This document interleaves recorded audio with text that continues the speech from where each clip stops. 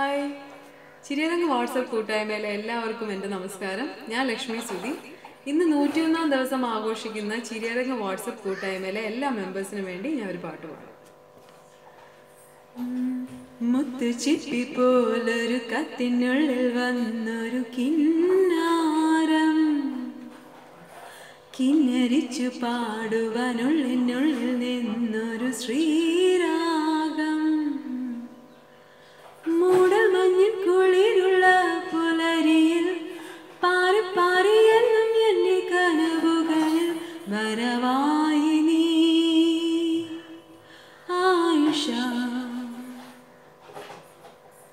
വരവായി നീ ആയിഷ.